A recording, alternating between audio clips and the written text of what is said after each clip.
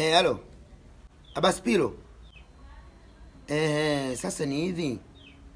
Eh, naomba story historia ya huyo marehemu striker wa Yanga aliyofariki. Ah, wataka historia yule uh, marehemu yule striker wa Yanga. Ili nikaisome makaburini eh. Ah, jamaa noma. eh.